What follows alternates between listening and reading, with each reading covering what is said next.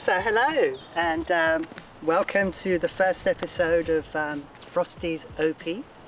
So what is this channel about? That's what this episode is going to cover today. Um, we're going to be doing basically stuff that I do in my life that I find interesting. So it's a vlogging, lifestyle channel. Uh, right now I am in the Arboretum in Nottingham in the UK and uh, it's uh, as you can see it's gorgeous very quiet on a Sunday not much going on. I thought it was a good place to, uh, to have a little chat so we're not just stuck indoors you know could be out and about. And um, right so uh, the things I like to do. Uh, outdoorsy things. I'm a rollerblader. I've been blading since I was 11 so ice skating and uh, roller skating. Skateboarding, I'm pretty rubbish at skateboarding, but I give it a go. I found out that I've been pushing with the wrong foot after skateboarding for about 20 years because uh, I've been pushing with my left foot with my skateboard with my foot at the back and riding that way when in fact I really should be doing it that way because you're supposed to have the leg that you push and jump from at the back and I've been having it at the front. So I'm going to learn to skateboard all over again and the way I found that out was um, from snowboarding because in the winter I like to ski and I'm going to try and start to learn to snowboard. I've done a little bit so far, you know, I've, I've been to the dry ski, or sorry, the indoor ski slope and I managed to, you know, go down, turn, go both ways, etc, etc. But uh, hopefully this winter that's coming, I'll uh, get on the slopes with the snowboard and see how I get along. So we're going to do that, cover that as well. So that's kind of the uh, the outdoorsy stuff. And you know, when I go out and about, we'll uh, we'll cover that as well. And uh, to start off as well, what we're going to do is um, for the first few episodes, I have actually shot some a series called Out and About. And what that was was me sort of rollerblading around sort of different parts of the world. So I did one in uh, Bermuda, uh, I did another one in Paris and I did one in Toronto. So after this episode, uh, we will release those. And at the moment, because you know we're just trying this out, see how it's going, um, I'm going to be releasing probably every couple of weeks, maybe a little bit more often. we'll see how it goes. But uh, yeah, so there's lots of stuff planned. And um, on the uh, on the sort of the other side of things, my other interests Okay, I'm a complete nerd, all right? Total nerd. So, love my sci-fi. And uh, I mean sci-fi, okay? Uh, not, not fantasy. That's one of the things that really bugs me is you sort of see trailers on YouTube. It's like top sci-fi films for like, you know, 2019. And you, um, you look at it and it's like Avengers and superheroes. It's not sci-fi, it's fantasy. All right, I like sci-fi, space sci-fi. That's, that's my thing. My favorite film of all time is Blade Runner. I absolutely adore Blade Runner. And not the sequel, the first one. The sequel just went on forever and ever, you know, and I just like, whoa. They kind of overdid it, but the original with the Vangelis music, absolutely awesome. And obviously Harrison Ford's like brilliant in it. So sci-fi, you know, I'll be talking a bit about sci-fi. I also read sci-fi. I've got a book in my bag. I'll dig it out in a minute and talk a little bit about that. And um, other nerdy things, okay, I love my space stuff. So, you know, I'm really heavy on um, watching all the, the, the, stuff that's happening with SpaceX and uh, Blue Origin and Rocket Lab and uh, all this kind of stuff. So, for example, uh, literally just the other day, uh, there was the Falcon 9 launch, uh, CRS-17, okay, and obviously last month we had the Falcon Heavy actually launch a real payload so that was really cool. But the launch that happened literally just the other day, CRS-17, if you haven't seen it on YouTube, eh, you need to watch it because it is the best uh, footage of the booster rocket landing.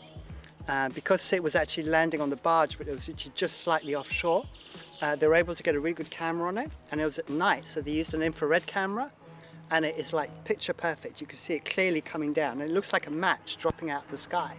And then the booster lights at the bottom and it looks like a match like flaming falling it looks so good and then they had the actual cam onboard camera uh, which did not cut out and it actually showed the booster come right down onto the launch pad so that was brilliant so CRS 17 is the uh, was the launch code this is the 17th launch that they've done for NASA and I think they've got another nine to go and then literally just this morning uh, Rocket Lab launched uh, the Electron rocket. You don't really hear about Electron.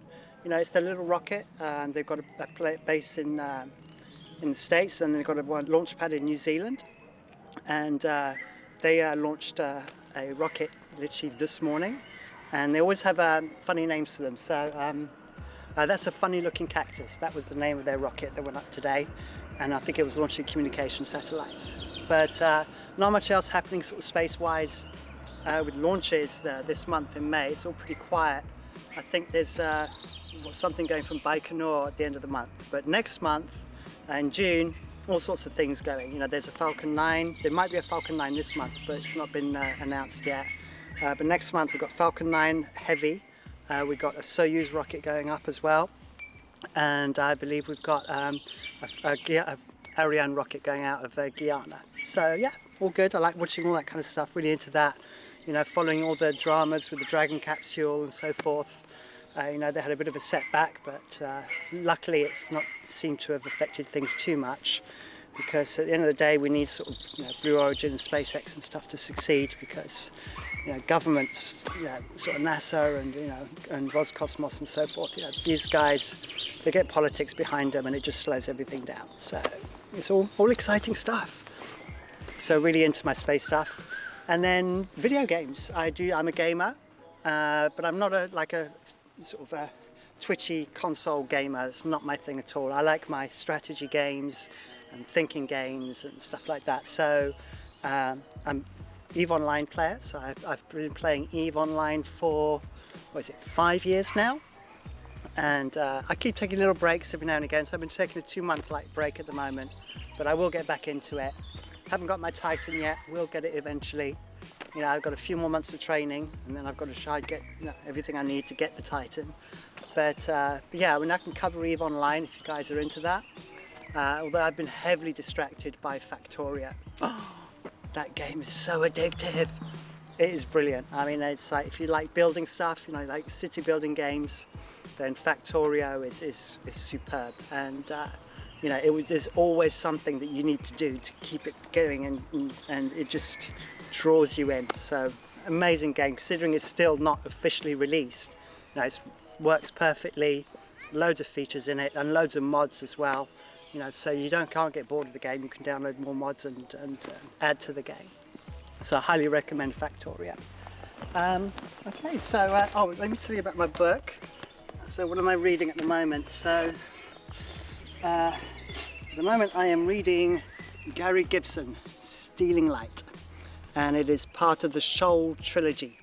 Now the Shoal are essentially the way that they, the premise of these uh, books is that there's only one species that has faster than light travel. They have something called a transluminal drive, and then all the various species have to then use the shoal in order to colonize planets and so forth. So they're kind of overbearing, overruling species and it's a story this the first book covers essentially um, a uh, group within uh, well, a colony uh, from uh, of humans who uh, discover a ship that is a, uh, a wreck that is a has a transluminal drive on it and it's the story of about them trying to obtain this ship and the main character is an augmented human being who they uh, contract as their pilot. Um, been okay. Uh, I really didn't get into the characters that much. Uh, I didn't really, wasn't really drawn into the characters. I thought the freeholders were a bit, uh, didn't really fit with me. You know, as a space-faring species, you know, their their way of life just didn't seem to match. But you know, good story. Uh, but I'll do a proper book thing at some other time uh, because there's a, a, another author I want to cover who is absolutely brilliant called Neil Asher and uh, so I'll do that in more detail and I'll do that from home. Uh, so that's about it. Um, so I was brightening up a little bit now. That's one of the things that obviously being British, you know, we always talk about the weather and uh, the reason why we talk about the weather, for those of you who are not British, it's because from one minute to the next, from one day to the next, you don't know what the weather's going to do. You know, so today it's pretty chilly, but it's all right. That's why I got my gloves on and everything. Um, but it's nice and bright and it's not windy. But then tomorrow it could be like absolutely bright sunshine and, and be gorgeous weather and everyone's running around in little skimpy outfits, you know. So you just don't know from one day to the next, and then two days later it's, it's hell and blah. So that's about it. That's my intro. Uh, so once again, welcome to my channel. Uh, I've probably forgotten some stuff I wanted to cover, but uh, you know, I don't want to ramble on for too long. Hope you enjoy it. Uh, stick around, you know, subscribe, do all that kind of usual YouTube thing. I'm new to this YouTube stuff, so bear with me. And uh, hopefully you'll like the videos that we're going to release over the next uh, over the next few weeks. And uh, obviously, please leave comments. And if you want to talk me talk about particular subjects or do an episode about a particular subject on the things that I've talked about today, then uh, let me know, and uh, I'll see what I can do. All right. Okay, time to uh, pack up shop. I think. What do you think? Yeah. Time for lunch. Yeah. Yeah. Let's go. let's go do lunch. Okay. All right then. Mm.